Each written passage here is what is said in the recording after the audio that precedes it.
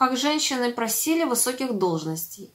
Однажды женщины пришли на собрание принцев, правителей областей, знати и говорят, почему нас не назначают на должности правителей области и не дают нам высоких титулов? Разве мы не люди?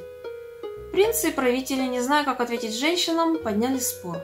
Если мы назначим их на высокие должности, они не справятся, ведь они не изучали законов и обычаев.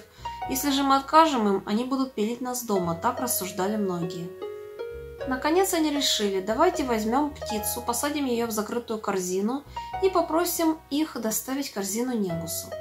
Если они не выпустят птицу, то мы выполним их просьбу, если же выпустят, то не видать им высоких должностей. Они заранее рассказали Негусу о своем решении, потом достали птицу, посадили ее в корзину и, плотно прикрыв корзину крышкой, сказали женщинам, «Доставьте это Негусу, но смотрите, не открывайте корзину, ее содержимое является тайной». Взяв корзину, женщины двинулись в путь. По дороге они то и дело говорили друг другу. «Давай посмотрим. Может быть, посмотрим?» Наконец они открыли корзину, и птица мигом вспорхнула и улетела. Тогда они вместо птицы положили другую вещь и, закрыв корзину, принесли ее к Негусу. Негус проверил содержимое корзины и говорит, «Я же приказал прислать мне птицу, а не это». Тут женщины поняли, что Негусу было все известно и рассказали ему всю правду о случившемся.